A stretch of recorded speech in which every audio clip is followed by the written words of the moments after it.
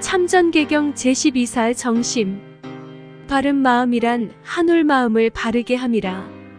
마음에 아홉 구멍이 있으니 육감으로 농락하며 한올이치를 구하려 해도 가히 얻지 못하리니 한 조각 영대가 높이 솟아 홀로 서면 빛나는 햇살에 구름 안개 사라지고 넓은 바다 넘실거림에 티끌도 막혀 끊어지니라.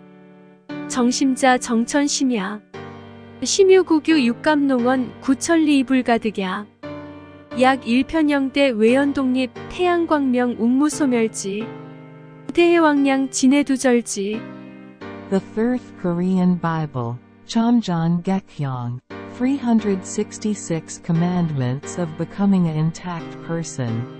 Jung Shim, the Twelfth Teaching, Straightening Heart. Jung Shim, Straightening Heart is straightening the heart of heaven. There are nine holes in the heart. And even if you try to play with your sixth senses and seek the principles of heaven, you will not be able to find it. When a spiritual tower rises high and stands alone, the clouds and the mist disappear in the shining sunlight, and the dust is choked up and cut off by the swaying of the wide sea. Thank you, God bless you.